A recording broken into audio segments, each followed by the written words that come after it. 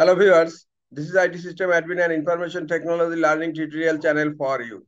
Today in this tutorial, I'm going to show you how to reset Windows Firewall to default settings in Windows 11 computers. Sometimes it become very important for you, so don't forget to watch full video. The first way to reset Windows Firewall to default setting, click on Start menu.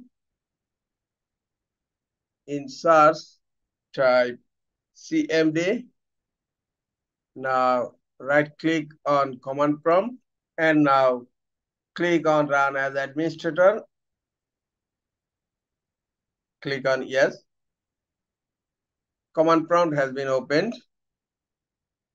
Now type net sh adv for advanced firewall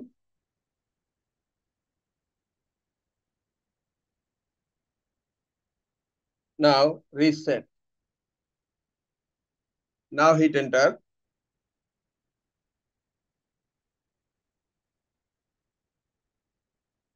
And command is executed successfully and the message is okay. The first way I have shown you the netsh advanced firewall reset. Now close command prompt. Now I'm going to show you the second way click on start menu. Click on search type firewall. Windows Defender firewall with advanced security. Right click on Windows Defender firewall and click on run as administrator now, look, Windows Defender Firewall with advanced security has been opened. Now, you will find an option here, Restore Default Policy. Now, click on Restore Default Policy and click on Yes. Now, look, the default policy was restored successfully. Click on OK. Now, close Windows Defender Firewall Now, again click on search for third way.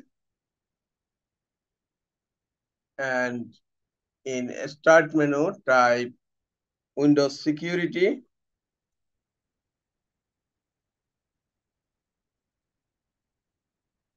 Now open Windows security Now click on firewall and network protection. Scroll down and here you will find restore firewalls to default. Click on restore firewall to default. And another menu will open and here you will find a button restore default. Click on restore default and click on yes. Okay now close windows security.